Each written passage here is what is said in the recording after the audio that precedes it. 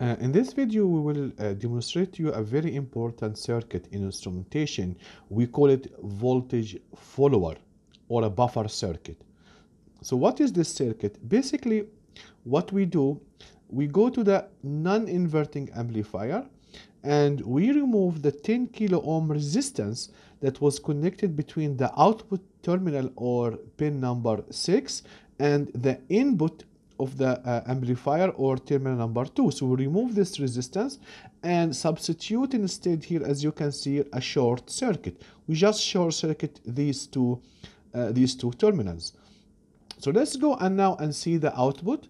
My output is 0.66 my input is almost the same. So as i increase the input getting higher and higher voltage. So basically your output is following your input. This is why it is called a voltage follower.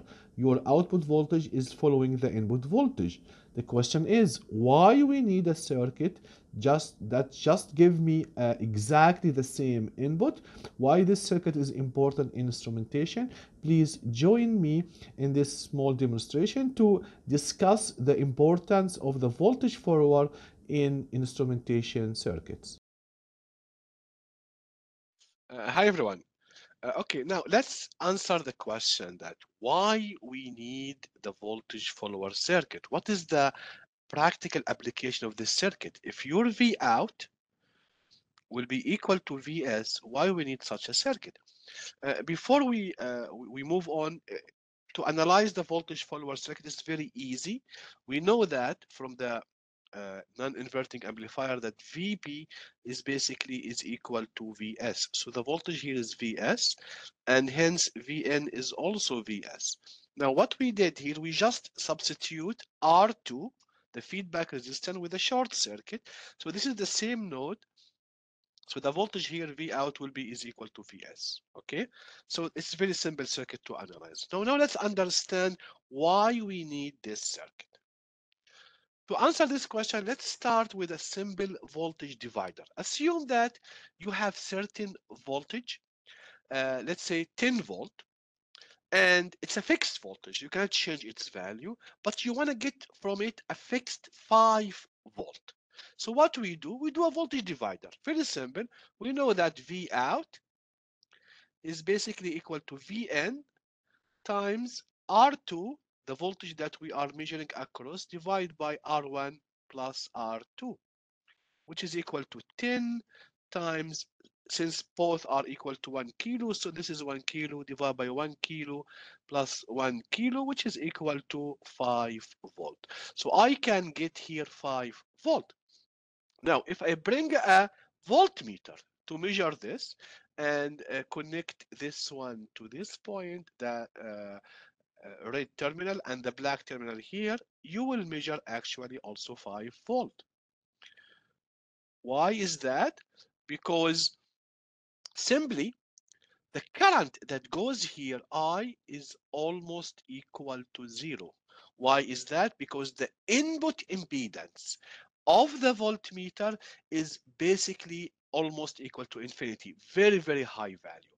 So the current that goes here I1 will be almost the same as I1. The current that goes here, it's the same I1. No current here will go into the voltmeter.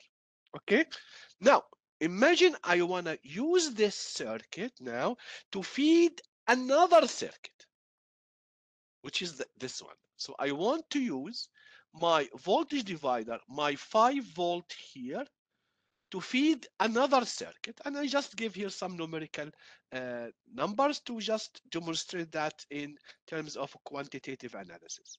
Okay. So I connect this one here and I want there here. And I want this to be 5 volt. But it will not be 5 volt. Why? Because what we call what we call is the loading effect. This circuit will load the voltage divider. What do we mean by loading effect?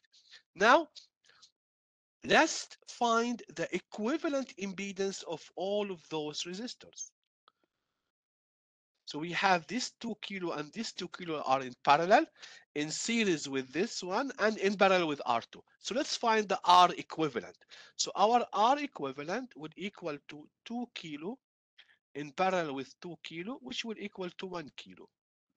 In series with the 2 kilo, so plus 2 kilo, which is 3 kilo ohm.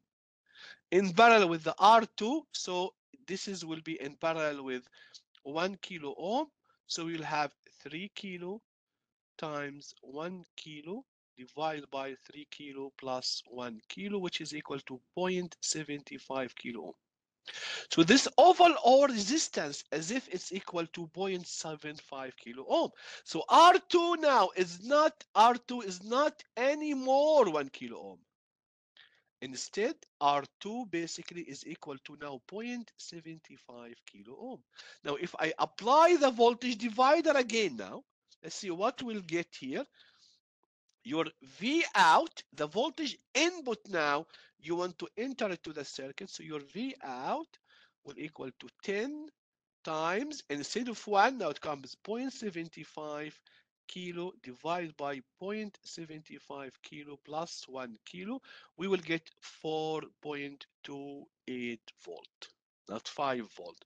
And every time I change the resistance, I will impact, I will affect the output voltage, which is bad. I don't want that. I want to have a fixed 5 voltage. Another way to look to into it is the loading effect. Now this current I is not equal to zero. So the current here will have I1 and here will have I2 and they are not equal because we will have a current here going to the load IL. So how to solve this problem? Here comes the voltage follower or the buffer circuit. So basically what we do, we insert the buffer circuit or the voltage follower in between. So we connect the output voltage here to Vs and here.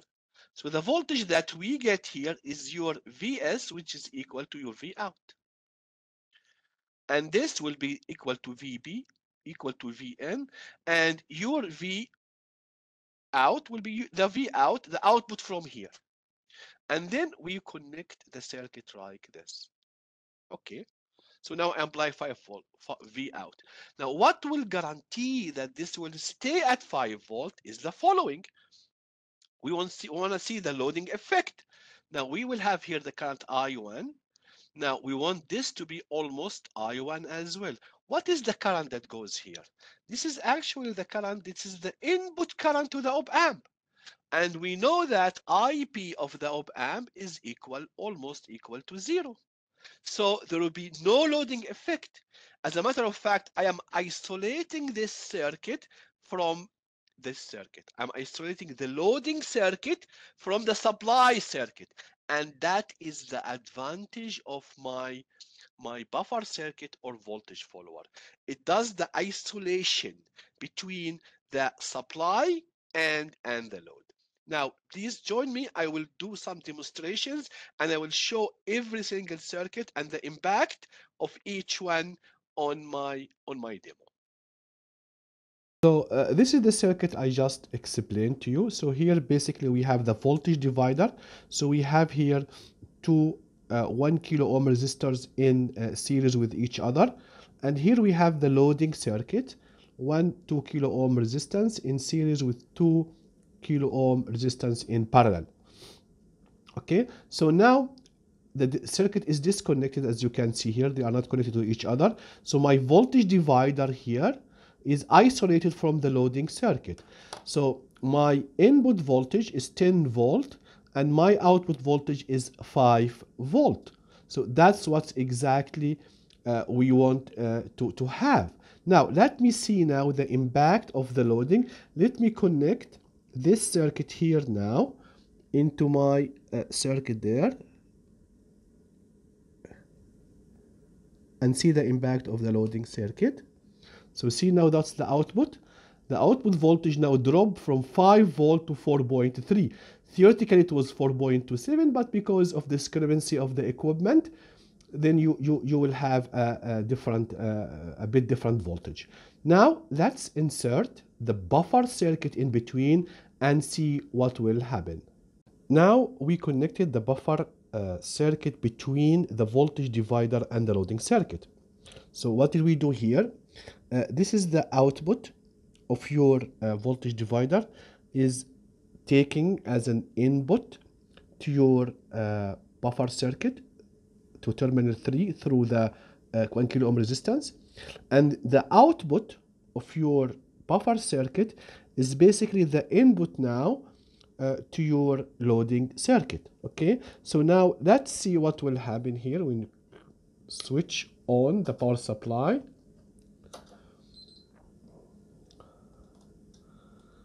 so the voltage now at the output of your voltage divider is basically equal to uh, 5 volt. Doesn't change with the loading circuit. Now if I take this terminal and measure the voltage at the input directly the input of my uh, loading circuit again you will have a 5 volt fixed. So this is why we need to use the buffer circuit is basically to isolate the supply from my loading circuit